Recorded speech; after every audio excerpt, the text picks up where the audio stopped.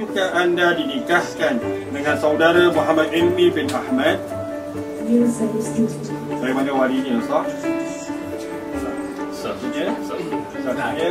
Alhamdulillah, terima kasih.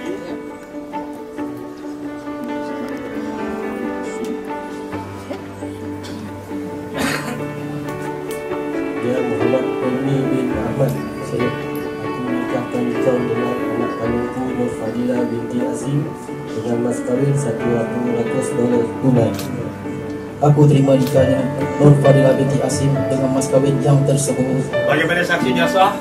Bagaimana saksinya, Sah? Sah. Alhamdulillah, Alhamdulillah, Alhamdulillah.